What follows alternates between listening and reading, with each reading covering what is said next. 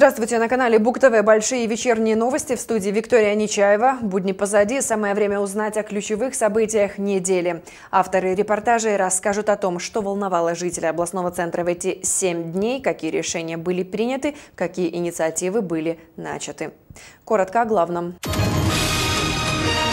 Молодые специалисты и их будущее, перспективы трудоустройства молодых кадров обсуждали на заседании Брестского облсполкома. Судьба и перспективы крупнейшей стройки областного центра. Председатель горосполкома Александр Рогачук обозначил сроки сдачи объекта и рассказал об основных этапах работ. В здоровом теле здоровый дух. Брестская лыжня собрала на снежных трассах любителей зимнего отдыха. Прямо сейчас об этом и не только. Заседание областного исполнительного комитета состоялось на текущей неделе. На повестке дня вопросы трудоустройства молодых специалистов, оканчивающих среднеспециальные и профессионально-технические учебные заведения. Какова перспектива реализации их потенциала на территории Брещины и что нужно сделать для того, чтобы улучшить их статус и положение в обществе? Подробности в первом материале выпуска. Судьба молодых специалистов, оканчивающих среднеспециальные и профессионально-технические учебные заведения, стала центральной темой заседания областного исполнительного комитета. Как сделать так, чтобы предупредить отток кадров в другие регионы и за рубеж, при этом обеспечить юношам и девушкам достойные условия труда и хорошее первое рабочее место. От того, насколько грамотно и компетентно будет решаться этот вопрос, зависит социально-экономическое положение региона в ближайшие несколько лет. Я хотел бы еще раз значит, обратить внимание что то решение, которое было принято в 2015 году, было вызвано серьезной ситуацией на рынке труда, снижением экономической активности предприятий, сокращением количества работающих. Сейчас ситуация с трудоустройством выпускников, она более-менее нормализовалась. Первое рабочее место предоставляется всем выпускникам в бюджетной сфере, имеется в виду бюджетной формы обучения – и по желанию тем, кто обучается э, платно при наличии мест трудоустройства. Сегодня в Брестской области создана многопрофильная база среднеспециальных и профессионально-технических учреждений. Переходя от одного этапа обучения к другому, юноши и девушки получают не только прочную систему знаний, но и отличные возможности для всестороннего раскрытия своего потенциала через многочисленные конкурсы, в том числе и международные. Учащиеся Брещины показывают в них высокие результаты, о чем свидетельствуют дипломы и награды. Не менее важен и тот факт, что государство сегодня гарантирует молодым людям, выбравшим среднеспециальное и профессионально-технические учебные заведения, первое рабочее место. И это очень важно для юношей и девушек, которые которые только начинают свою дорогу во взрослую жизнь. Активно должна использоваться система целевой подготовки кадров. Об этом в рамках заседания не раз говорили участники исполкома. С оговоркой, подготовка должна вести с требованиями, которые предъявляет рынок труда. Структурным подразделением облсполкома, горисполкомом необходимо продолжить работу по активизации деятельности в прогнозировании потребностей и формировании заказов, в том числе организации частной формы собственности с использованием данной системы. Отмечается системная работа по организации целевой подготовки Комитета по сельскому хозяйству и продовольствию, главных управлений по здравоохранению и по образованию – Брестского горисполкома, Ганцевичского, Ивацевичского, Барановичского горисполкомов. Востребованность рабочих специальностей сохраняется уже не одно десятилетие. И это оправдано, ведь люди таких профессий заняты во многих важных отраслях экономики и промышленности. В отдельных сегодня даже ощущается некоторый дефицит. На это Анатолий Лис обратил в рамках заседаний особое внимание. Важно искать возможности, как поддержать людей, уверен губернатор. В кадровом обеспечении отдельных отраслей еще имеются проблемы. Существует дефицит некоторых специалистов – в основном это отрасли сельского хозяйства, медицины, строительства, которое мы ощущаем в нашей области особенно остро. Понятно, что близость границ, значит, она, естественно, способствует оттоку кадров. Но прежде всего не в этом причина. Причина в том, что по многим специальностям уровень заработной платы в сопредельных государствах значит, значительно выше. Поэтому нам необходимо думать над тем, как значит, создать условия для нормальной работы в отраслях экономики, чтобы люди меньше выезжали за пределы области и нашей республики. В числе основных поручений по итогам заседания губернатор региона особенно обозначил одно направление – подготовка кадров для сферы обслуживания. Она должна быть расширена и производиться в соответствии с международными стандартами, а также теми требованиями, которые предъявляет время. Анастасия Ноздрин, Плотницкая, Эдуард Букунович, Антон Луговкин. Итоги недели. Западный обход будет сдан к началу августа. Такое мнение высказал мэр города Александр Рогачук на текущей неделе во время расширенного заседания на объекте. Затем, как возводится уникальный объект транспортной и дорожной инфраструктуры, брещане наблюдают давно и стоит отметить, что работы здесь ведутся активно. Более 350 специалистов трудятся на всех направлениях. В рамках посещения объекта председатель горосполкома наградил наиболее отличившихся строителей памятными подарками, а также также дал свою оценку деятельности. Анастасия Ноздрин-Плотницкая продолжит тему.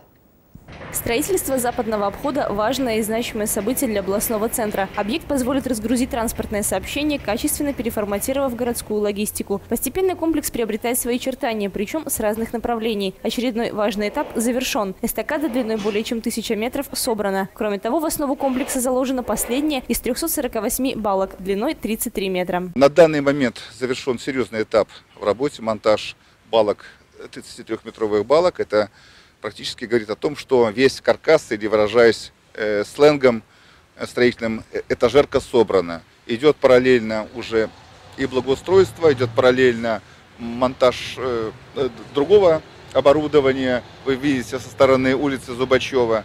Я думаю, что задание будет выполнено в срок. Строительство ведется в соответствии с утвержденными графиками. Работы разделены на участки по создающимся со стакады спускам. Армируются швы между, бал, между балок. Пока ждем температуру, чтобы немножко мороз сошел, чтобы можно было бетонировать. Пока только, скажем, идут арматурные работы. На Зубачева идут земляные работы. Там сети. Вот. На самом мосту ставится парапет, турникет. То есть работы идут везде, где только можно. Уникальное мостостроительное решение интересно не только строителям, но и ученым. Объект имеет научное сопровождение. Пристальное внимание уделяется возведению объекта и на республиканском уровне, рассказал журналистам Александр Рогачук. 18 января состоялось заседание Организационного комитета под руководством главы администрации президента Качанова Натальи Ивановны, где я докладывал о ходе строительства объектов по городу Бресту о тех мероприятиях, которые будут проходить э, в течение года. И было неоднократно подчеркнуто, что основным объектом тысячелетия является западный обход. Э, объект находится непосредственно на контроле у главы государства. Объект э, достаточно дорогой, поэтому стоит задача сделать его качественно, в срок и запустить уже к первому августа общую строительную готовность. Определенные неудобства строителям доставляют погодные условия и активное движение транспорта под конструкцией. Однако это не должно сказаться на сроках выполнения работ. Сегодня в строительстве занято более 300 специалистов различных подрядных организаций. И каждый из них уже вошел в историю как участник возведения такой масштабной конструкции. А наиболее отличившихся отмечает своим особым вниманием руководство Бреста, города, который уже в этом году отметит знаковый юбилей во всей своей красе. Мы должны отмечать тех людей, которые проявляют себя на этой работе, которые непосредственно занимаются, не взирая на погоду вот этой работой. Поэтому сегодня горисполком принял такое решение наградить лучших работников грамотами и ценными подарками. Что примечательно, что ценные подарки с логотипом тысячелетия. Я уверен, что эти подарки будут хорошей семейной реликвией, потому что там э, отображено тот объект, который и наш город в том числе прославит. Анастасия Ноздрин, Плотницкая, Эдуард Букунович, Антон Луговкин, телекомпания БУК-ТВ.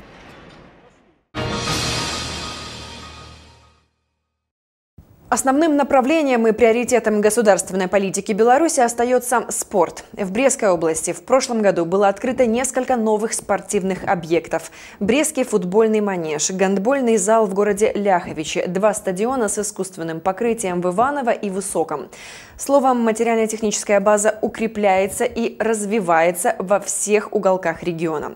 Все делается и для того, чтобы привлечь к здоровому и активному образу жизни как можно больше людей. К примеру, сегодня на базе Грибного канала состоялась областная зимняя спартакиада «Брестская лыжня-2019». В ней приняли участие сотни жителей города и области.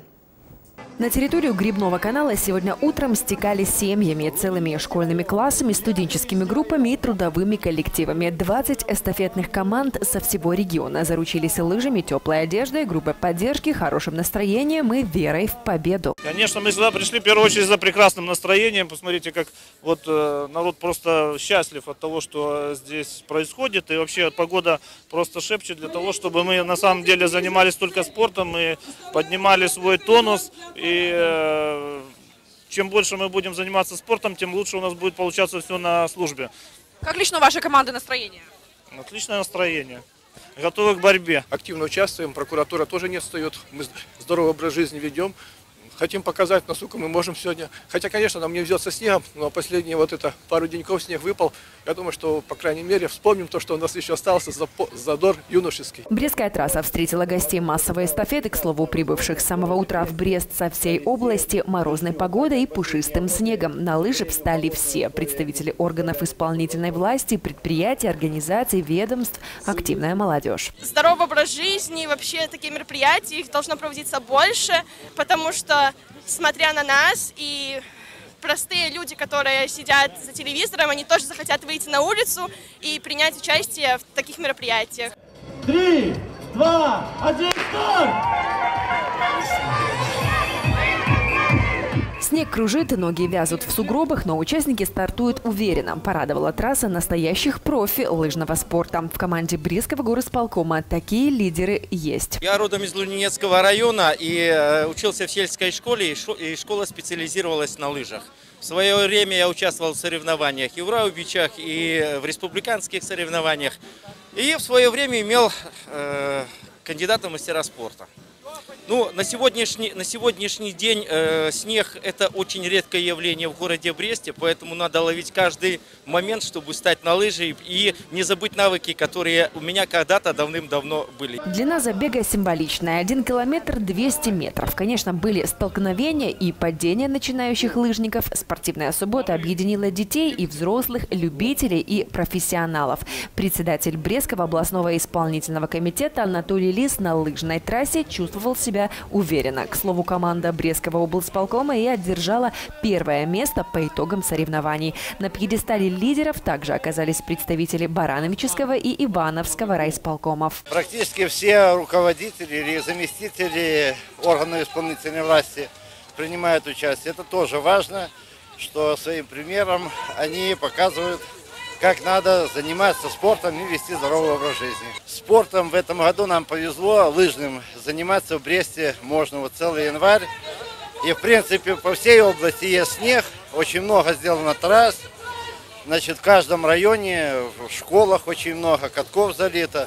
Поэтому очень много э, значит, сделано и есть возможность для занятия сегодня лыжным спортом. Самая массовая лыжная гонка области объединила сотни поклонников зимнего вида спорта. По сути, праздник – это своеобразный зимний привет и призыв тем, кто не ладит с закалкой и здоровым, активным образом жизни. Брестская областная лыжня 2019 единым спортивным праздником и с ветерком прокатилась по трассе Грибного канала. До финиша добрались все – уставшие, но довольные.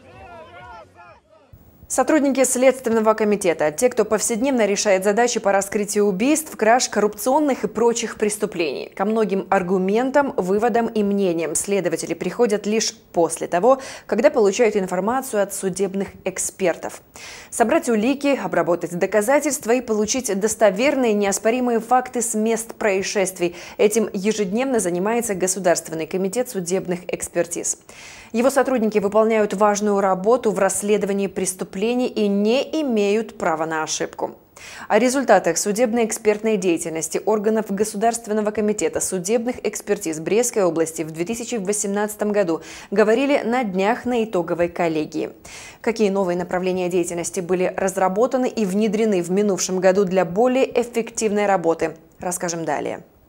9 тысяч осмотров мест происшествия, тысячи улик и более 36 тысяч экспертных исследований. Благодаря новым технологиям в 2018-м раскрыты сотни преступлений. В прошлом году органами Государственного комитета судебных экспертиз Республики Беларусь по Брестской области была продолжена целенаправленная работа по повышению эффективности судебной экспертной деятельности. При этом особое внимание было уделено качеству и оперативности проведения экспертиз. В настоящее время органы Государственного комитета Брестской Московской области обеспечены всем необходимым оборудованием, которое позволяет проводить исследования различной сложности на качественно высоком уровне и в кратчайшие сроки, что называется, по горячим следам. В прошедшем году мы реализовали комплекс мероприятий по организации проведения экспертиз компьютерной техники и радиоэлектронных э, устройств в Баранинском межрайонном отделе.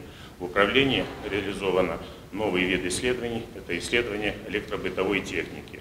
По-прежнему востребованы наши исследования у граждан и юридических лиц. Основными направлениями работы экспертов, по которым обращаются граждане, были и по-прежнему остаются генетические исследования и исследования маркировочных обозначений транспортных средств. В связи с некоторыми изменениями в законодательстве в текущем году белорусские эксперты ожидают увеличения заявлений для проведения строительно-технических, товароведческих и автотехнических экспертиз. Существуют и так называемые проблемные вопросы. Пока проблемным вопросом вопросом остается организация проведения лингвистических экспертиз. Э, у нас заканчивается подготовка специалистов, и, надеюсь, уже во втором квартале текущего года мы приступим к проведению и этих экспертиз. Экспертизы э, данного вида назначаются в рамках решения материалов по экстремистской деятельности по оскорблению граждан для принятия законных решений органами внутренних дел и судами. Сегодня заканчивается подготовка этих экспертов. К слову, для обучения привлечены специалисты из России. Уже в апреле обучающиеся сдадут завершающие экзамены и приступят к работе в новом направлении. А значит, проводить лингвистические экспертизы будут и в Брестской области. Конечно, сегодня еще есть ряд направлений, которые применяют только в Минске. Опыт столичных специалистов в этом году будет перенят брестскими экспертами экспертами. В ближайшее время мы передаем комплект оборудования для исследования, более углубленного исследования при проведении пожарно-технических экспертиз. Там, металлографские микроскопы, сопутствующее оборудование, чтобы можно было устанавливать э, короткое замыкание в проводах. Раньше такие экспертизы делались только в центральном аппарате. В принципе, э, мы по всем направлениям развиваемся. Какие-то новые программы и по э, почерку, и по исследованию ВИН номеров, и по технической экспертизе документов, и по техническим видам, там, по исследованию радиоэлектронных устройств, компьютерной э, техники. Все находится в развитии. В целом работа экспертов в Брестской области за 2018 год оценивается удовлетворительно, но специалисты отмечают, сегодня в стремительно меняющийся век цифровых информационных и других технологий всегда есть куда расти. К другим темам. Оплата дорожного сбора, прохождение техосмотра, постановка и снятие с учета транспортного средства, получение регистрационных знаков. Каждый из водителей постоянно сталкивается с этим в процессе эксплуатации автомобиля. И редко кто остается доволен суммами, сроками, временем, затраченным на эти действия. Вместе с тем, для всех владельцев автомобилей госавтоинспекция подготовила новые правила регистрации автотранспорта, которые вступили в силу с 21 января нынешнего года. Это предусмотрено предусмотрено постановлением Совмина от 18 ноября 2018 года номер 747. Основная цель документа – сокращение затрат времени граждан на осуществление регистрационных действий с транспортными средствами и упрощение соответствующих процедур. В нововведениях разбиралась Ирина Альшова. Автомобиль не роскошь, а средство передвижения, утверждает народная поговорка. Вместе с тем, обслуживание железного коня действительно становится дорогим удовольствием и по времени, и по средствам. С 21 января 2019 года вступили в силу новые правила регистрации транспортных средств, которые призваны сократить, если не расходы, то как минимум потраченное время. Документ, которым мы руководствовали служебной деятельности, это постановление Совета министров об утверждении положения о порядке государственной регистрации регистрации и государственного учета транспортных средств, снятия с учета и внесения изменений в документы, связанные с регистрацией транспортных средств, э, был принят аж в 2002 году. Поэтому уже в настоящее время э, давно э, созрели предпосылки для переработки этого документа. Ну, сами понимаете, время идет вперед, изменяется и порядок регистрации и указания совершенно другие приходят. В общем, это документ, который давно уже назрел для того, чтобы принять его в новой редакции. Вместе с тем, согласно новому положению, автомобиль теперь можно снять с учета в любом регистрационном подразделении, вне зависимости от места его прежней регистрации. По информации госавтоинспекции, с 1 ноября 2019 года в Беларуси вводится система электронных паспортов транспортных средств. Поэтому разработчики документа заблаговременно внесли в него необходимые дополнения. Автомобиль, имеющий такой паспорт, предоставлять на осмотр тоже не потребуется. Основные упрощения, которые данным документом предусмотрены э, для граждан, и в том числе для юридических лиц, это предусмотрена такая услуга, когда продавец продавая автомобиль, допустим, транспортное средство, покупателю значит, осуществляет одновременно услугу по государственной регистрации транспортного средства, а затем передает уже зарегистрированное транспортное средство покупателю. Это касается транспортных средств, не бывших в эксплуатации. Упростили и схему выдачи номерных знаков в случае их утраты или хищения, что очень актуально для выезжающих за границу на своей машине. Теперь предоставление транспортного средства на осмотр по месту регистрации больше не нужно. Выдача новых номеров сможет может проводиться по акту осмотра автомобиля, составленному регистрационным подразделением по месту нахождения автомобиля или регистрирующими органами других государств. Определены новые требования к документам, выданные компетентными органами иностранных государств, то есть эти документы должны быть э, переведены на один из государственных языков Республики Беларусь и скреплены апостилем. Это такая мастичная печать белая. Кроме этого, что еще? Определены новые основания для отказа в совершении регистрационных действий. Э, по-новому осуществляются регистрационные действия, изменен порядок осуществления регистрационных действий в отношении транспортных средств, э, которые имеют э, признаки видоизменения или уничтожения маркировок номерных агрегатов, поддельных документов. Здесь после проведения проверки уполномоченным органом принимается определенное решение. Сегодня Брестский межрайонный регистрационный экзаменационный отдел госавтоинспекции работает в штатном режиме. С введением электронной системы и гибкого графика работы время оформления автотранспорта и его осмотра здесь и так минимизировано. Теперь некоторые регистрационные процедуры станут еще быстрее. Если сравнить, э, как раньше регистрировали, сейчас просто приходишь, электронная, электронная очередь, я буквально 15-17 минут и все, подошел. То есть никаких не, очень быстро все, очень быстро. Я очень доволен. В течение 15 минут э, быстро произошло, очень удобно стало. Довольны скоростью работы. Ирина Альшова, Андрей Щерба, Антон Луговкин, телекомпания БОК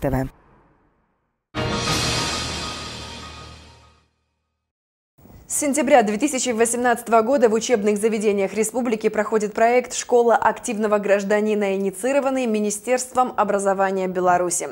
Каждый месяц по четвергам в гости к учащейся молодежи приходят общественные деятели, представители органов местной власти, депутаты, а также известные и уважаемые люди, чтобы обсудить события, произошедшие в стране.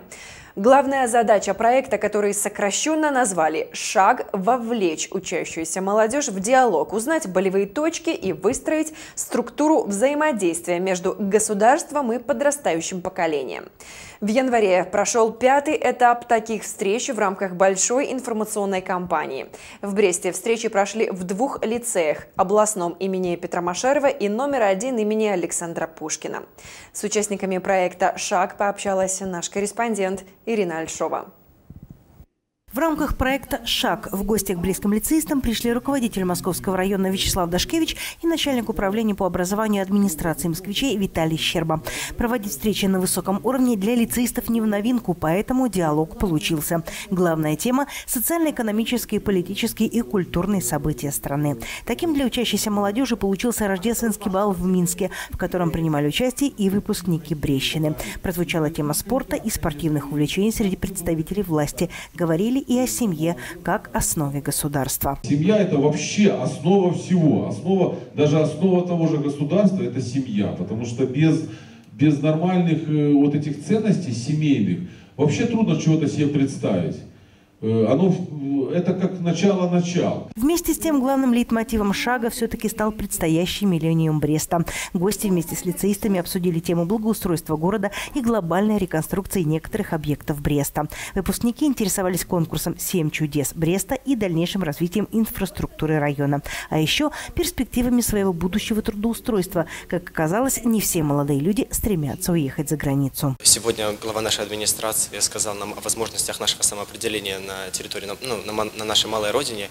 И я думаю, его советы по управлению нашим районом и ну, пригодятся нам в будущем для нашего дальнейшего самоопределения. Важно внимание.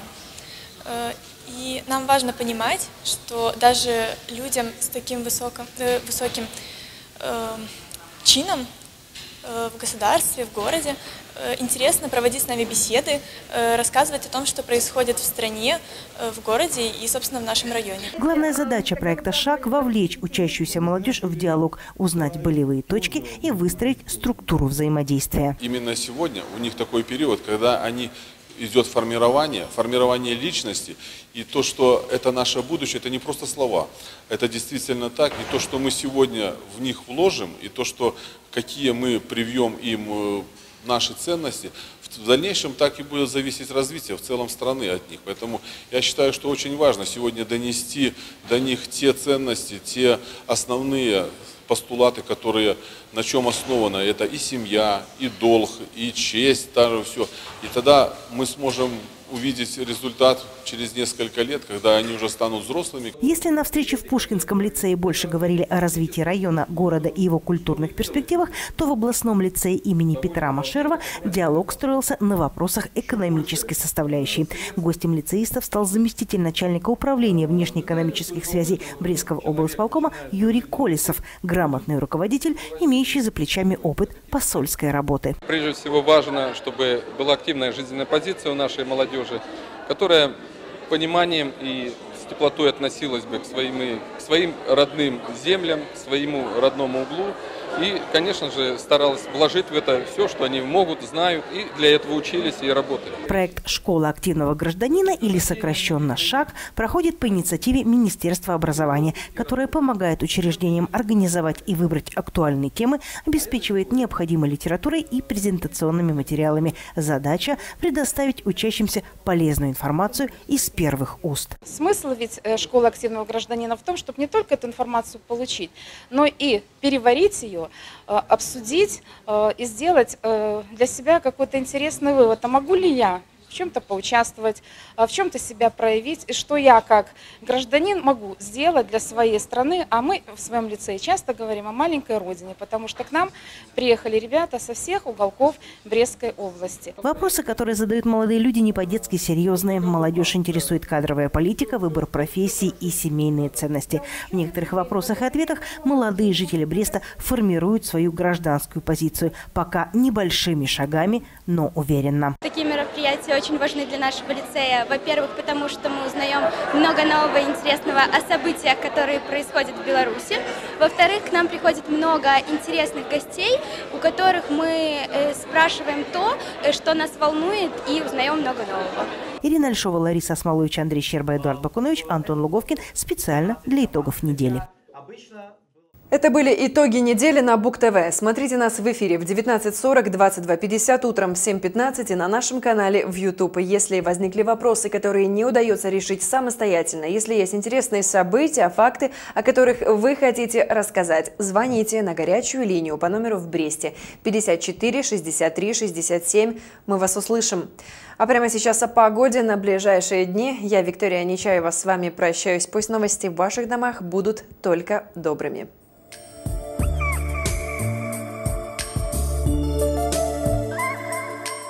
27 января ночью сохранится влияние фронтальных разделов. Днем город Брест окажется в области пониженного атмосферного давления. Ветер южный с переходом на северный умеренный. Температура воздуха в ночные часы от 7 до 9 градусов мороза. Днем столбики термометров поднимутся до отметки минус 1.